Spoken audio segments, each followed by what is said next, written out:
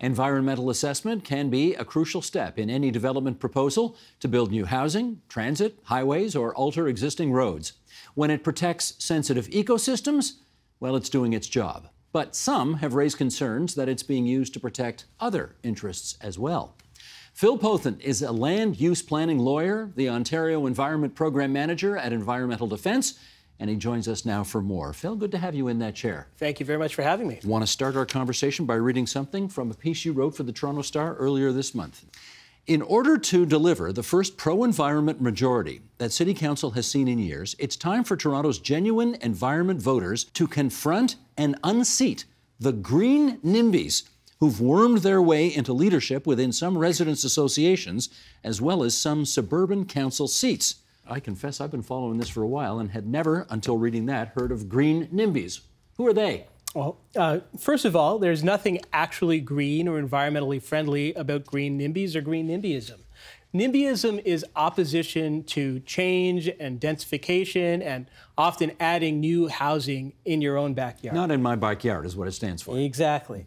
And green NIMBYism is simply the attempt to dress up that opposition, which is based on simple self interest or subjective aesthetic preferences, or sometimes outright environmental racism, in some kind of pseudo environmental uh, post rationalization. Environmental uh, racism? What does that mean? So, environmental racism means the unequal distribution of environmental benefits and burdens based on race, which is a prohibited ground.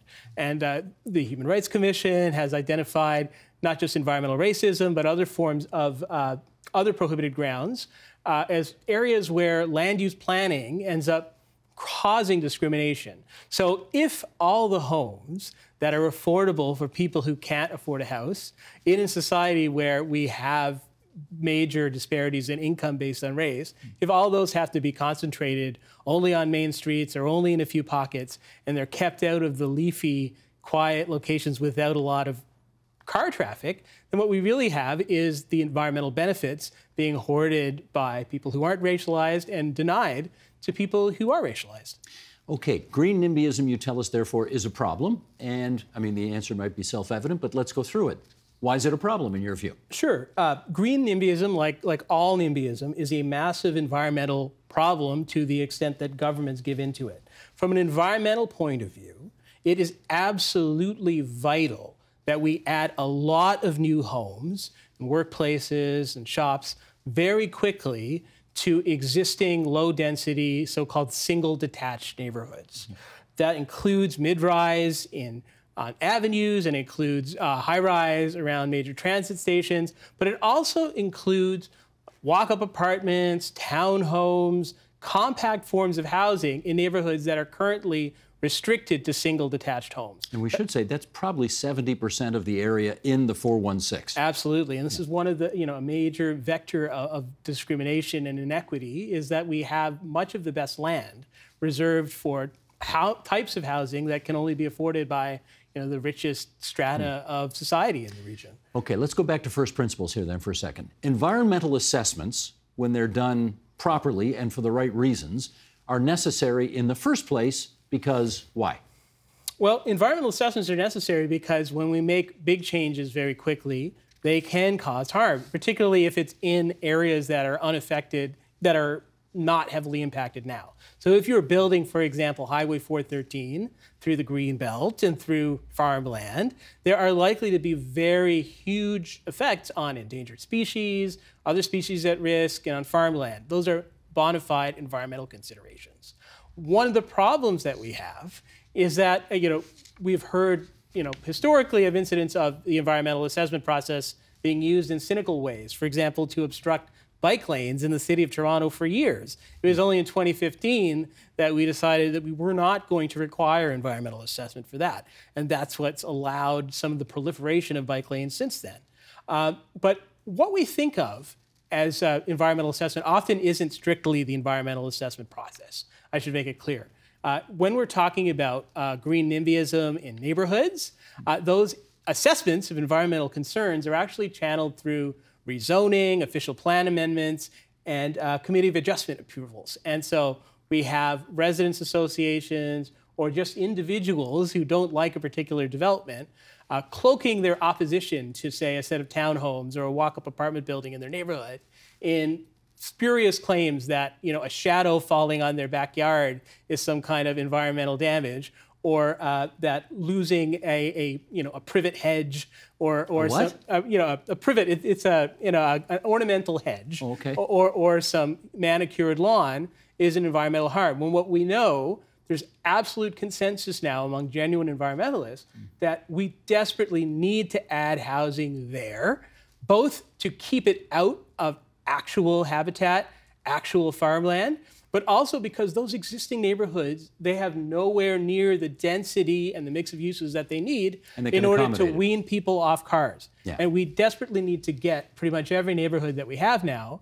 up to 90 or 100 people per hectare in order to, to meet our climate obligations. Okay, let me circle back to something you said a moment ago. You said that environmental assessments were being used in an attempt to prohibit the construction of more bike lanes.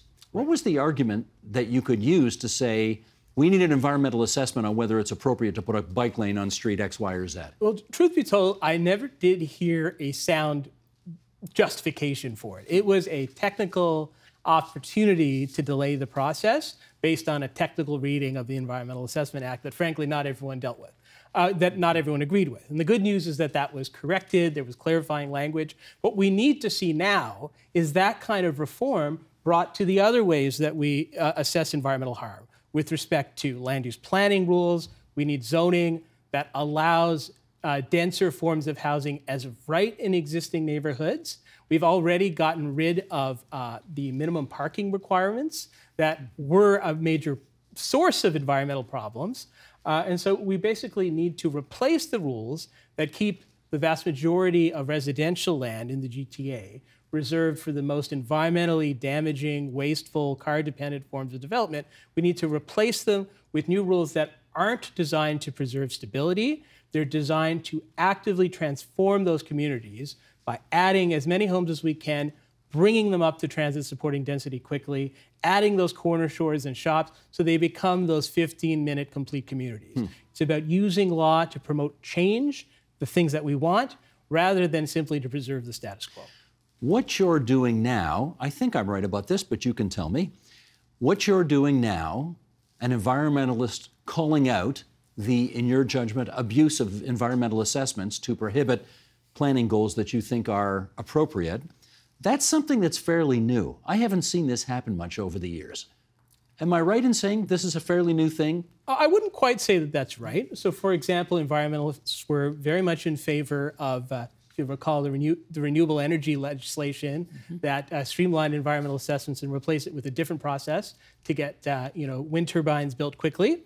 Uh, and environmental assessment, uh, environmentalists were always opposed to the use of environmental assessment uh, for things like bike lanes.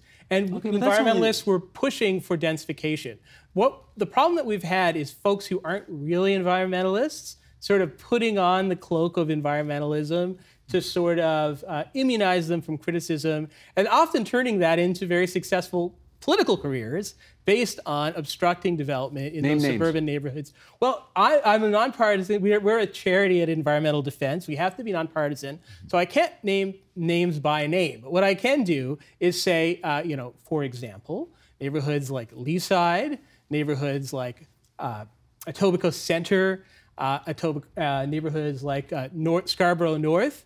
You know, the for years and years, incumbent councillors in those wards and the current incumbent councillors, they have been obstructing housing and uh, preventing them from getting up to the densities that they need in order to allow the residents in those very neighborhoods to get by comfortably without a car. And meanwhile, on the other hand, I, I really have to look at the other side of it, and that is that four wards in the core of the city have uh, accommodated something like 61% of population growth in recent years.